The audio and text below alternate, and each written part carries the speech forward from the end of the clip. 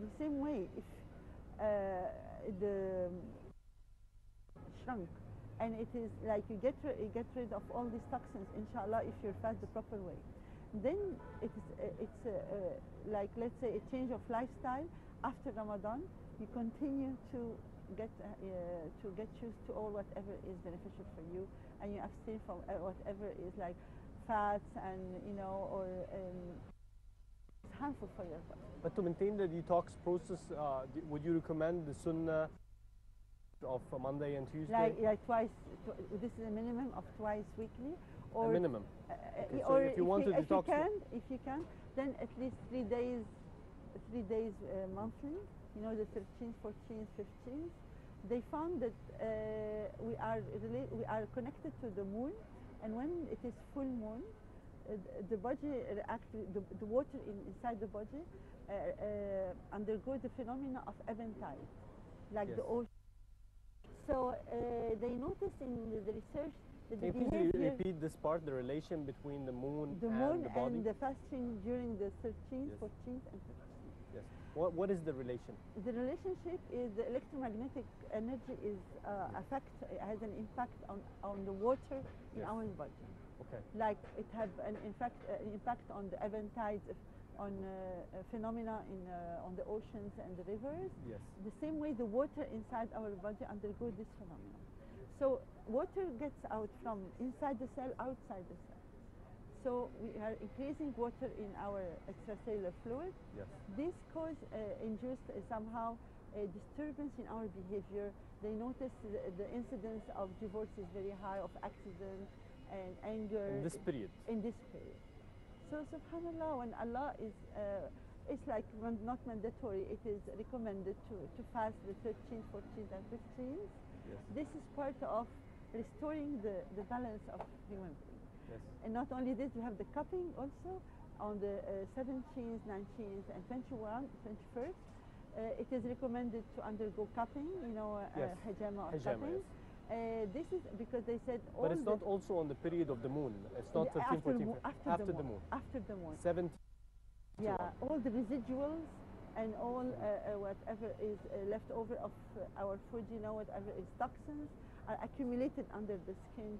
So when you perform hijama, you get rid of it. But is the cupping uh, recommended for every month or like for every longer period?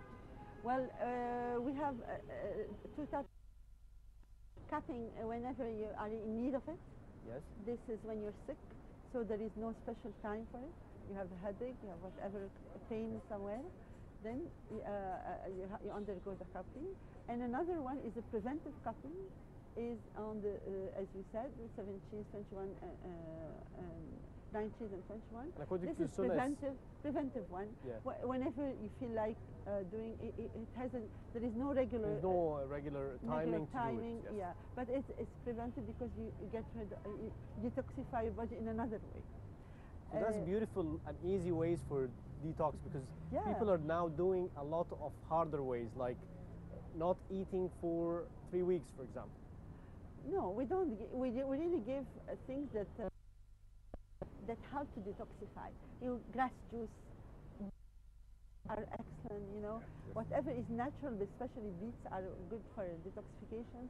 And uh, grass, they uh, grass now actually they let grow the whole uh, whole wheat, for instance, and they make like grass from, from it or whole barley, and they let it grow, and then Yes. they, they juice the, the grass, and actually there are pills for detoxification uh, called uh, wheatgrass. This is what I recommend from the alternative point of view. Yes. Uh, another aspect also is uh, this is from the chakras. I would like to highlight that subhanallah we have seven chakras as you know, uh, seven centers of energy in our body. Yes. This is viewed by a special apparatus of course. And the second chakra uh, we have two locations.